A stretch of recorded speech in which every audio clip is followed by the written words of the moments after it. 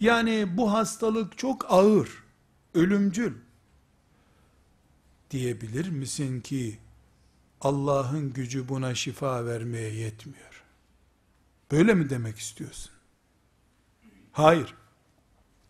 Hastanede yoğun bakımda cihazları çekelim mi diye doktorlar düşünürken bile son saniyemizde 20 senelik ömrümüz daha olacağını hesap edebiliriz. Böyle müminiz biz. Elhamdülillah. Bunun için bir kural olarak yandan bir mesele diye hatırlatayım. Son yoğun bakımda hastaya takılan cihazları çektirmek caiz değildir. Yok şurası soğudu burası soğudu son dakikaya kadar beklesin. Dirilir mi, düzelir mi, ayağa kalkar mı? Ölü bile dirilir ve dirilecek Allah'ın izniyle. Çürümüş kemikler dirilecek de hala içinde damarlarında kan dolaşan, ciğeri duran bir adamı niye diriltmesin Allah? Böyle iman ediyoruz biz. Sağlık politikamız bu bizim.